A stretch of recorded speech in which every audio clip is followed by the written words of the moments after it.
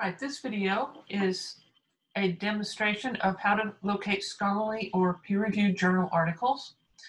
We will, uh, as an example, use the topic of global warming. So here on the library's homepage, where our Discover search box is, I'm just going to type in the words global warming. And you'll notice that we were searching Discover, articles, books, and more. So we're going to see what's available um, on this topic. And just before I do that, I just want to say a word about um, what, what exactly we are doing. In a way, what we're doing is a little bit like fishing.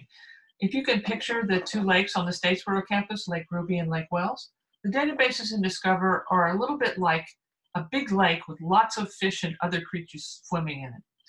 There might be bookfish or journal fish, um, ebooks, printed books, videos, magazine articles, newspaper articles, all kinds of different fish.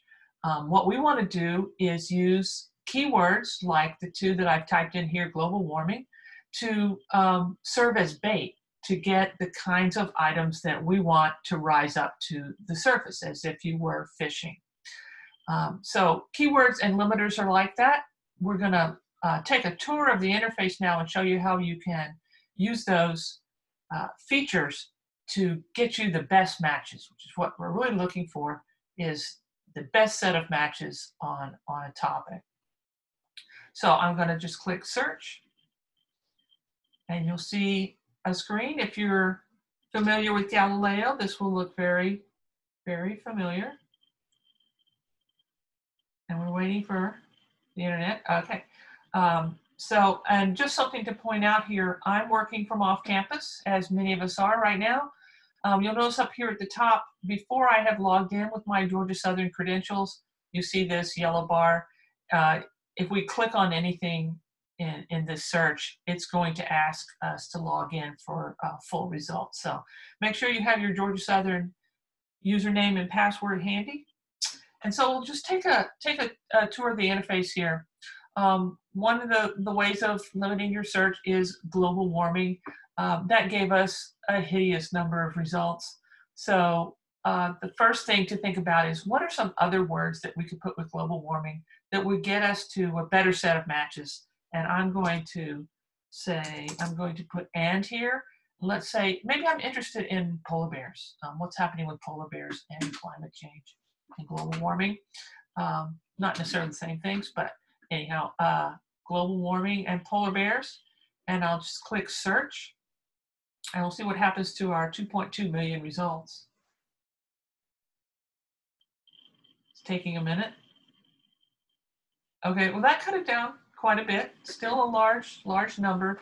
But uh, as I said at the beginning, we're gonna look for scholarly articles.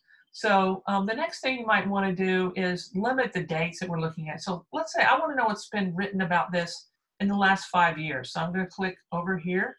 If you look at this uh, sidebar, under refine results, there are a variety of things that you can choose here to um, reduce the number of results you get to a, a more useful set.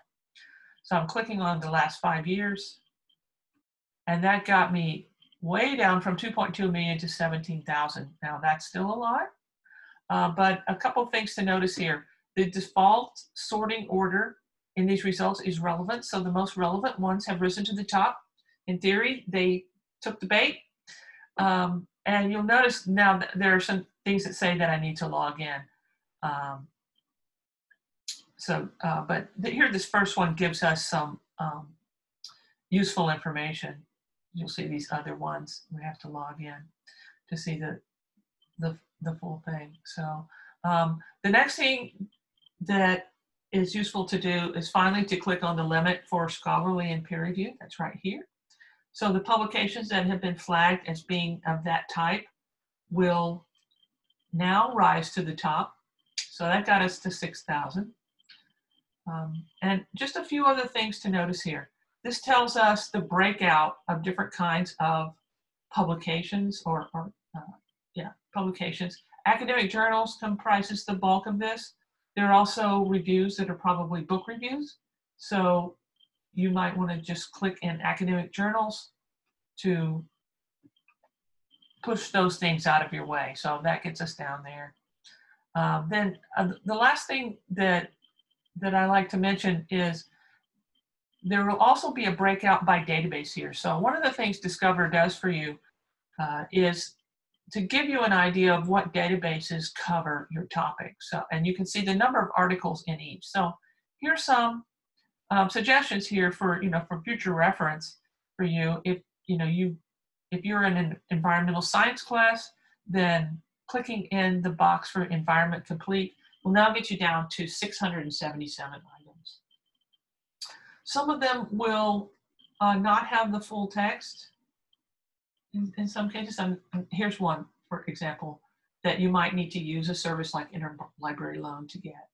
But um, the best advice is when you do first do your first pass, click on, don't click on online full text only in the beginning because you might miss some some good items. It may turn out that this one that's only available by interlibrary loan is is a key article for you. So um, just bear that in mind as you're searching. So that gets us to a set of results that is from scholarly and peer-reviewed publications available at Georgia Southern in the last five years. In subsequent videos, we will look at um, what, what you can do with an individual article, but you'll notice, uh, I'll just give you a quick preview. If I want, say I want this article, now I have to log in.